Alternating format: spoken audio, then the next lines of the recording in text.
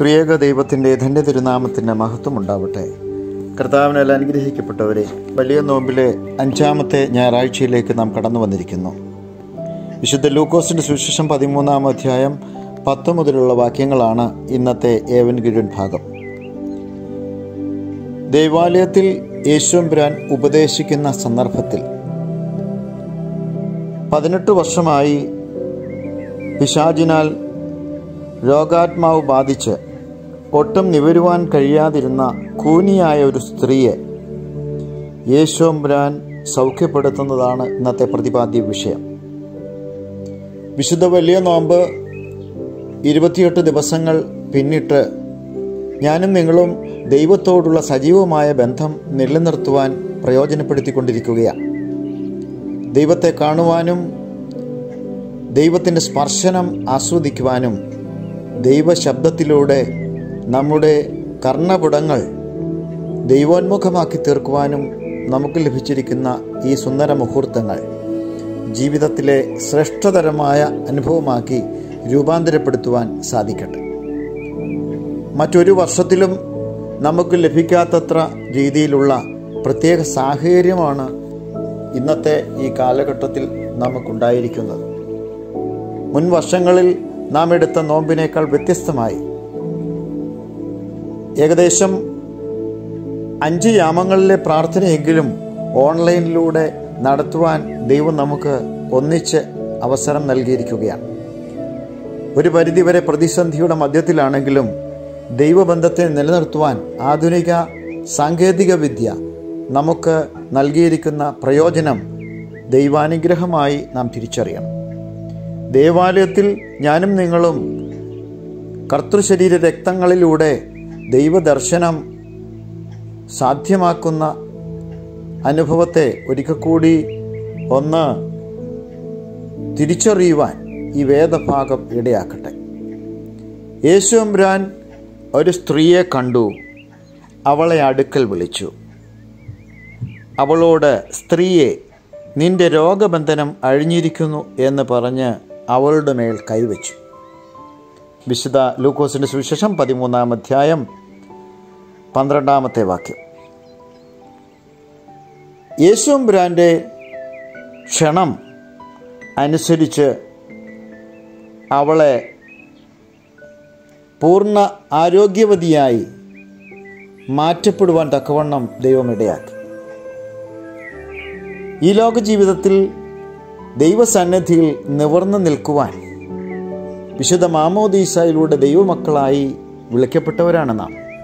എന്നാൽ ദൈവത്തെ നോക്കുവാൻ തക്കവിധത്തിലുള്ള അഭിമാനകരമായ ജീവിതം ഞാനും നിങ്ങളും നയിക്കുന്നുണ്ടോ എന്നുള്ളതാണ് നമ്മോടുള്ള ദൈവത്തിന്റെ ചോദ്യം. പലപ്പോഴും ദൈവസന്നിധിയിൽ നേരെ നിൽക്കുവാൻ സാധിക്കാത്ത വിധത്തിൽ ലജ്ജാഭാരത്തോടെ തലകുനിക്കുന്ന അനുഭവമല്ലേ നമ്മുടെ ദൈനംദിന ജീവിത പ്രവർത്തനങ്ങളിലൂടെ ഞാനും നിങ്ങളും ആർജിച്ചിരിക്കുന്നത്. കാരണം പാപപങ്കിലമായ ലോകജീവിതം നമ്മെയും ബാധിച്ചിരിക്കുന്നു. വിശുദ്ധിയിൽ വളരുവാൻ തക്കവണ്ണം ദൈവ തേജസ്സോടെ സൃഷ്ടിക്കപ്പെട്ട ഞാനും നിങ്ങളും വിശുദ്ധ മാമോദീശയിലൂടെ പ്രാപിച്ച തേജസ്സിന്റെ അനുഭവത്തെ ഇന്ന് മാലിന്യത്താൽ വികലമാക്കിക്കൊണ്ടിരിക്കുന്ന ഒരു കാലഘട്ടമാണ്.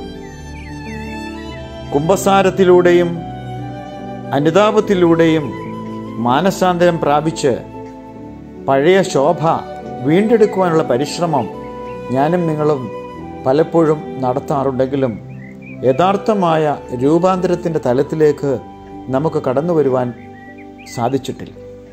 ഈ അൻപത് നോമ്പ് ഒരുപക്ഷെ ഒരു മാറ്റത്തിന് നമ്മെ വിധേയമാക്കിയേക്കാം. എന്നാൽ നൈമിഷികമായ മാറ്റമല്ല നിലനിൽക്കുന്ന ഒരു മാറ്റത്തിന്റെ അനുഭവം നമുക്ക് ആർജിക്കുവാൻ ഉള്ള പരിശ്രമമാണ് ദൈവം നമ്മിൽ നിന്ന് പ്രതീക്ഷിക്കുന്നത്. അൻപത് ദിവസം കഴിയുമ്പോൾ പഴയ അവസ്ഥയിലേക്ക് തിരിച്ചു പോകുന്ന മാറ്റമാണ് പല വലിയ നോമ്പിലും ഞാൻ നിങ്ങളും ആർജിച്ചിട്ടുള്ളത്. പ്രിയമുള്ളവരെ അതൊരിക്കലും ദൈവം ആഗ്രഹിക്കുന്ന ഒരു മാറ്റമല്ല. ദൈവത്തെ മുറുകെ പിടിച്ച് ആധ്യാത്മികമായി വളരുവാൻ തക്കവണ്ണം നമുക്ക് ഈ വലിയ നോമ്പിലൂടെ സാധിക്കണം. വിശുദ്ധ ലൂക്കോസിന്റെ സുവിശേഷം പതിമൂന്നാം അധ്യായം മുഴുവൻ മുപ്പത്തിയഞ്ച് വാക്യങ്ങളും ഞാനും നിങ്ങളും കൃത്യമായി വായിക്കണം.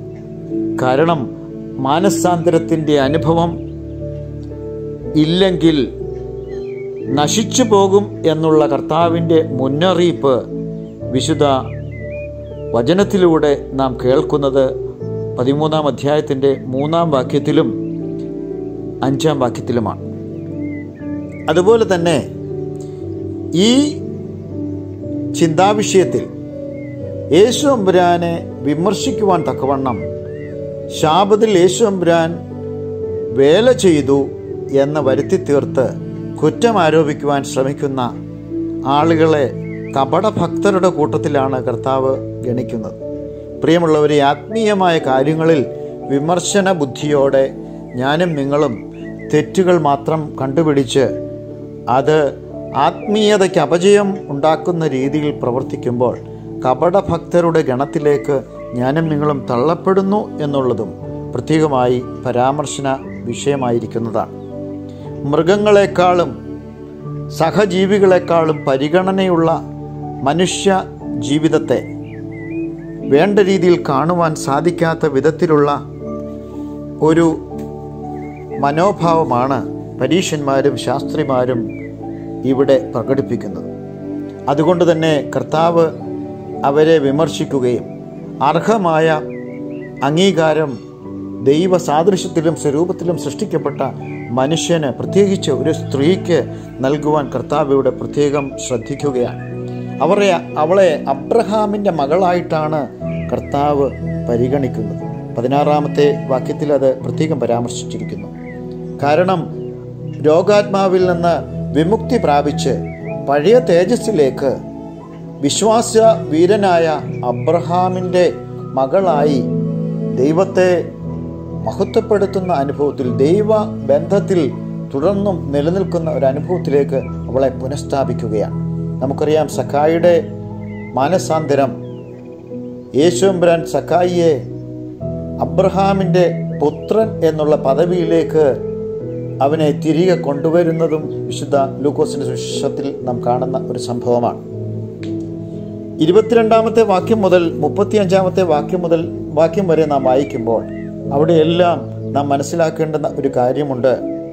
പലപ്പോഴും ഞാനും നിങ്ങളും നോമ്പും പ്രാർത്ഥനയും ഉപവാസവും ഒക്കെ ചെറിയ രീതിയിൽ എടുക്കുമ്പോൾ വലിയ പ്രതിഫലം ദൈവത്തിൽ നിന്ന് പ്രതീക്ഷിച്ചുകൊണ്ട് ജീവിക്കുന്നവരാണ്. എന്നാൽ ശരിയായ ആധ്യാത്മികത പാലിക്കാതെ വലിയ പ്രതീക്ഷയോടെ ദൈവത്തോട് പ്രാർത്ഥിക്കുന്ന നമുക്ക് ലഭിക്കുന്ന അനുഭവം ദൈവരാജ്യത്തിൽ എന്തായിരിക്കും എന്നുള്ളതിനെക്കുറിച്ചുള്ളൊരു സൂചന ഈ അദ്ധ്യായത്തിൽ നമുക്ക് ലഭിക്കുന്നു. ഞാനും നിങ്ങളും ഈ ലോകത്തിൽ നിന്ന് കടന്നു പോകേണ്ടവരാണ്. ദൈവരാജ്യത്തിലേക്ക് സ്വർഗീയ അനുഭവത്തിലേക്ക് ചെല്ലുമ്പോൾ അവിടെ കരച്ചിലും പല്ലുകടിയും ഉണ്ടാകുന്ന അനുഭവത്തിലേക്ക് തള്ളപ്പെടാതിരിക്കുവാൻ കൃത്യമായി വ്യക്തമായി ദൈവബന്ധം നിലനിർത്തുകയും സഹജീവികളോടുള്ള ബന്ധം നിലനിർത്തുകയും മറ്റുള്ളവർക്ക് അർഹമായ പരിഗണന നൽകി മറ്റുള്ളവരെയും ദൈവത്തിങ്കിലേക്ക് നയിക്കുവാനുള്ള ദൗത്യം ഏറ്റെടുത്ത് സാക്ഷ്യമുള്ള ക്രിസ്തീയ ജീവിതം നയിക്കണം എന്നുള്ള സന്ദേശവും യേശുമ്പരാൻ നൽകുന്നു. മുമ്പന്മാരായിരുന്ന പലരും പിമ്പന്മാരും പിമ്പന്മാരായിരുന്ന പലരും മുമ്പന്മാരുമായിരിക്കുന്ന അവസ്ഥ സ്വർഗരാജ്യത്തിൽ ഉണ്ടാകുമെന്ന് പറയുമ്പോൾ അവിടെ അഭിമാനത്തിനേക്കാൾ കൂടുതൽ വിനയത്തോടും എളിമയോടും അവനവന്റെ കുറവ് പരിഹരിച്ച് ദൈവമുമ്പാകെ കേണപേക്ഷിക്കുന്ന ഒരു തലത്തിലേക്ക് ഞാനും നിങ്ങളെ രൂപാന്തരപ്പെടണം എന്നുള്ളതാണ് ദൈവം ആഗ്രഹിക്കുന്നത്. ഈ വിശുദ്ധ വലിയ നോമ്പിലൂടെ യഥാർത്ഥമായ രൂപാന്തരം പ്രാപിച്ച് ദൈവത്തെ മഹത്വപ്പെടുത്തുവാൻ തക്കവണ്ണം ദൈവത്തിന്റെ പരിശുദ്ധാനം നമ്മെ സഹായിക്കട്ടെ എന്ന് പ്രാർത്ഥിച്ചുകൊണ്ട് വാക്കുകളെ ചുരുക്കുന്നു. സ്നേഹപൂർവം നയനാനിച്ചു